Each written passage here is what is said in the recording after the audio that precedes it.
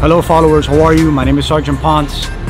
I am the sergeant here with the auto theft unit in Medley. Uh, the purpose of the unit is basically to uh, do a proactive approach to, uh, to finding stolen vehicles, tractors, and trailers. Simultaneously, we come and educate business owners on proper licensing and procedures that they have to have when operating a business. Um, today, we're working an operation here on the west end of the city. Our goal today is, uh, is obviously to recover as many vehicles as possible um, and apprehend any individuals involved uh, uh, within crimes uh, to this industry.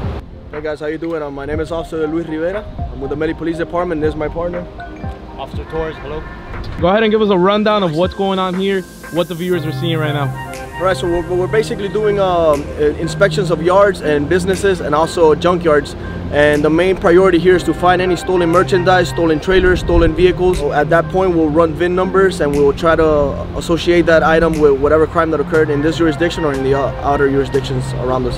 So you're saying if somebody stole something in, in Hialeah and, and the truck is here, what do you guys do there? You guys call Hialeah or how does that work? Well, what we will do first, we'll run the, run the VIN number, we'll run the information, make sure that it's still uh, an active stolen vehicle. If it is, we'll impound it, we'll do the recovery and then that information will be passed on to the other agency where they could go ahead and uh, they could do their part of the investigation. Hold on, look, look.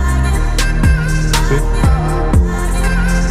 It's got the marks. What's that number right there?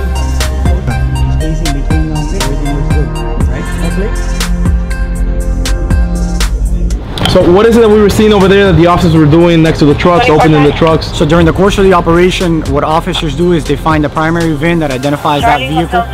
Um, the VIN is basically a unique number that belongs to that vehicle in specific. Um, once they identify that number, they run it through our database in order to verify if, if, uh, if the vehicle is stolen or not. In the event that um, that primary VIN is unfound, uh, we look for other alternatives like secondary VINs and we reach out to other uh, resources that we have in order to, to find the, the primary identifying uh, VIN for that vehicle. Thank you very much for viewing this video and uh, like, follow, and uh, like, follow, and share. Let me do that again.